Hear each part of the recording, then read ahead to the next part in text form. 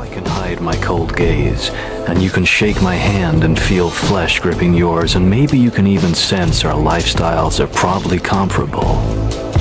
I simply am not there.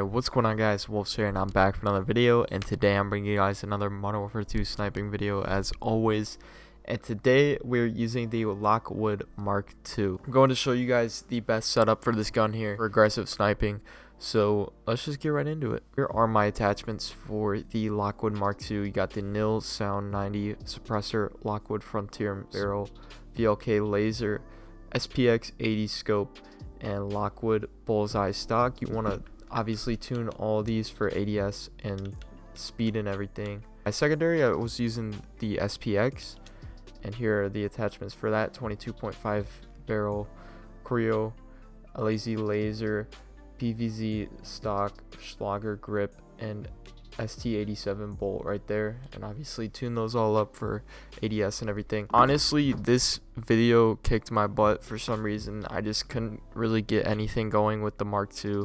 That's why there wasn't really a great intro section. Hope you guys enjoyed it anyways. Mark II, honestly, it just gets too many hit markers in my opinion. It's just not as good as it used to be in MW 2019. I would rather use the SAB any day over the Mark II, but if you want to go ahead and give it a try, there is the class setup. And yeah, enjoy the rest of the gameplay I'll throw in here. And if you guys are watching this right now and you're not subscribed, please be sure to leave a like, subscribe, and also turn on those post notifications for some more Modern Warfare 2 sniping content and Warzone content. I appreciate you guys, and I'll catch you all in the next one. Peace out.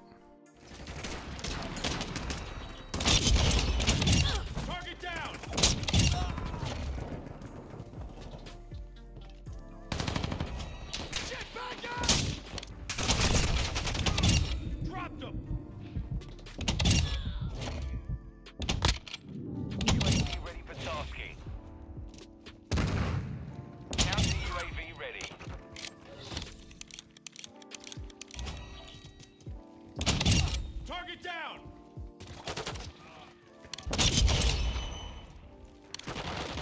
Taking effective fire! Hardpoint relocating. Stand by.